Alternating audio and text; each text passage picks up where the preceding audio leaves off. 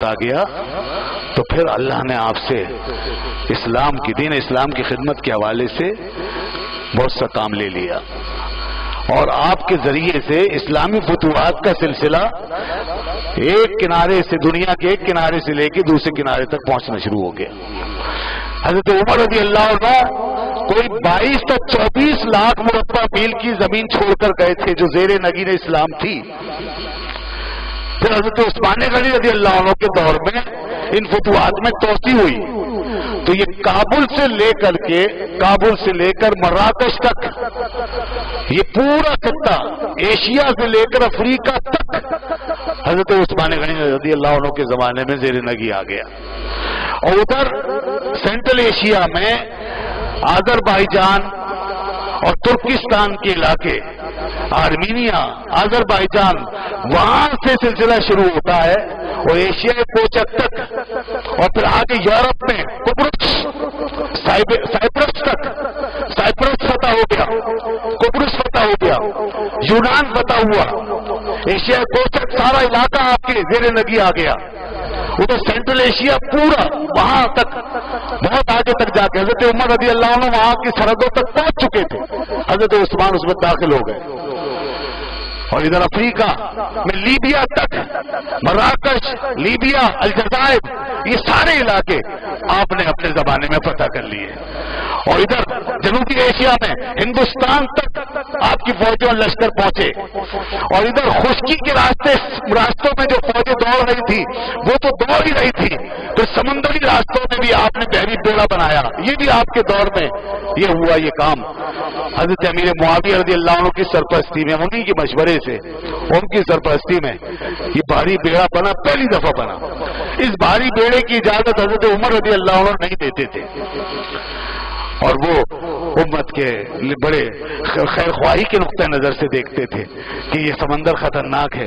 इसकी मौजों पे सवार होना खतरे से खाली नहीं।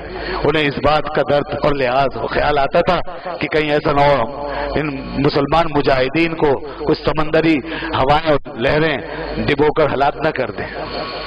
तो इसलिए वो एहतियातन इसकी इजाज़त नहीं देते थे। मगर बाद में इसकी ज़रूरत पड़ती गई और हज़रत अमीर मुआविया इस मुहिम में पीछे लगे रहे।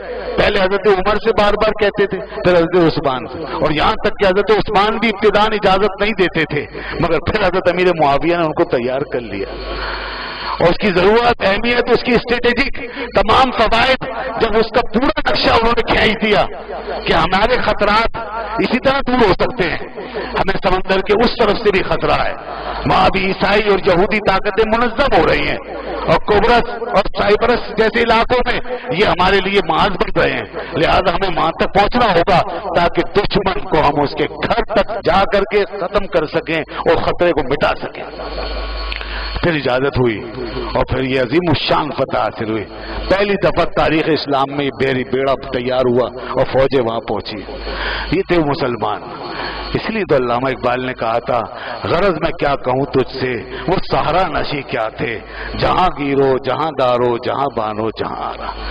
ये वो जमाना था, जहाँ इन इस्लामी फतूहत के नीचे पूरी दुनिया अमन अमान के साथ, अदल इंसाफ के साथ एक ऐसी ज़िंदगी गुजार रही थी, जो जन्नत की ज़िंदगी और वहाँ के माहौल की एक नजीर थी। यहाँ कोई एक शख्स दूसरे पे जुल्म नहीं कर सकता था। या कोई किसी का जान किसी की जान या माल उसको हथिया नहीं सकता था।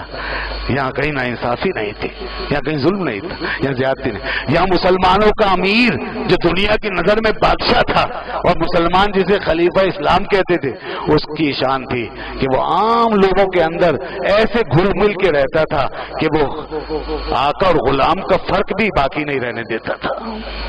अमीर और गरीब, गोरे और काले की तफरीक का तो सवाल ही पैदा नहीं होता। यहाँ तो आका और गुलाम का, खलीफा का और रियायत का फ़र्क मिटाकर चलता था।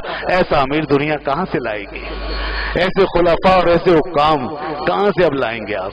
कि जहाँ खलीफा आम आदमी के साथ इस तरह शेयर करे और एक गरीब के साथ अपने खादिमों, मुलाजिमों, गुलामों के साथ इस तरह मिलजुल के चले कि रह जाए कि ये इनमें अमीर कौन है और गरीब कौन है? आका कौन है और गुलाब कौन है? ये हाल था उनका। जो अपने गुलामों का इतना ख्याल करे कि रात को उठ के ताजुद पढ़ने के लिए और रात की इबादत के लिए अपने पानी का खुद इंतज़ाम करें। जिसका बड़ा वसी घर हो, सब कुछ हो, वहाँ गुलामों की भी एक फौज है, खादिमों की फौज है। और उसके बाद फिर वो रात को उठे। और उठ करके अपने सारे इंतज़ाम खुद करे और कोई पूछे कि आपके पास इतने खादिम, मुलाजिम गुलाम मौजूद हैं, इनको क्यों नहीं उठा लेते? तो फरमाने लगे, उनके आराम में खलल होगा ना। ऐसे लोग कहाँ मिलेंगे अब? कितनी बड़ी ताकत का मालिक, लाखों मुरब्बा मील सरजमीन का शहनशाह और अमीर और देखिए, घर में उसने अपने गुलामों की भी रियायत कर रखी है। उनके भी आराम का ख्याल रखा हुआ है। तो जो अपने मातहत गुलामों का ख्याल रख रहा है, वो दुनिया में किसी और के साथ ज्यादती कैसे कर सकते और फिर तारीख ऐसी मिसाल कहाँ से लाएगी? कि इतने बड़े पावर, इतनी ज़बरदस्त ताकत और कुफत का मालिक होने के बाद भी वो ऐसा शर्म वाला, ऐसा हया वाला ऐसे अदब वाले। और रसूल्ला सल्लल्लाहु अलैहि वसल्लम से ऐसा ताल्लुक। और हुजूर के शहर का ऐसा लिहाज। और लोगों की जान माल के तहफ़ का ऐसा एहसास कि आखिरी वक्त में चालीस दिन तक मुट्ठी पर चंद बागी जिसके घर का मुआवजा करके खड़े हों।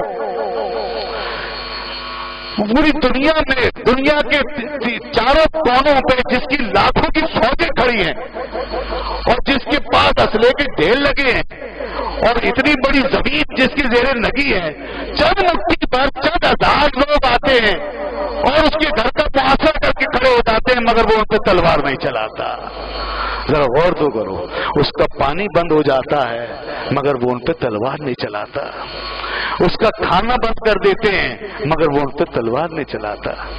चालीस दिन तक उसे भूखा प्यासा रखते हैं। जो कि कुछ मुयसर आता है, उससे वो अपने और अपने बच्चों का गुजारा करते हैं। यहाँ तक कि समंदर का पानी पहुँचता किसी ज़रिए से, वो कड़वा खारा पानी पीते हैं। मगर उसके अपने हाथों से खरीदा हुआ और वक्त किया हुआ कुआँ, मीठा कुआँ, पीरे रूमा का पानी उस पर हराम कर दिया जाता है। उसको मस्जिद जाने से रोक दिया जाता है। वो मस्जिद जिसमें पत्थर लगा है तो उसके माल का लगा है। जिसके सुतून खड़े तो उसके माल से खड़े हैं। जिसकी छत में लकड़ी लगी है, वो उसके माल और पैसे से लगी है। जिसकी तोसी हुई है तो उनके माल और पैसे से हुई है। उस शख्स को जिसने मस्जिद शरीफ में ये सारा काम कराया और जिसके बदले में रसूल पाक सल्लल्लाहु अलैहि वसल्लम से जन्नत की बशारतें ली, आज उसको उस मस्जिद में नमाज़ पढ़ने से रोक दिया जाता है। जरा गौर कीजिए, अजीब बेबसी क्या का आलम इतना कुछ बस में रखने के बाद भी बेबसी। इतना कुछ इख्तियार रखने के बाद भी इख्तियार हो गए। ये दोस्तों, ये अजीम लोग थे। ये अजीब लोग थे। इनकी इनकी डायमेंशन और है। इनकी तरबियत और है। ये रसूलुल्लाह सल्लल्लाहु अलैहि वसल्लम के पाले हुए हैं। तो हजूर के परवरता है। हमारा आज की दुनिया का दीन और ईमान तो सिर्फ़ मादा है, ताकत है कुत है। यही जाहिरी ज़ोर आजमाई है, यही गलबा है। मगर वहाँ कुछ और भी मामला हैं। वहाँ अखलाकी कदरें बहुत बुलंद हैं। वहाँ ईमान के मीनार बहुत ऊँचे जा रहे हैं। वहाँ शर्म हया का ताल्लुक बहुत मज़बूत है। वहाँ अदब, लिहाज और पास और अकदार का की हिफाजत। ये अपने उरूज पर है। लाए कोई मिसाल। आप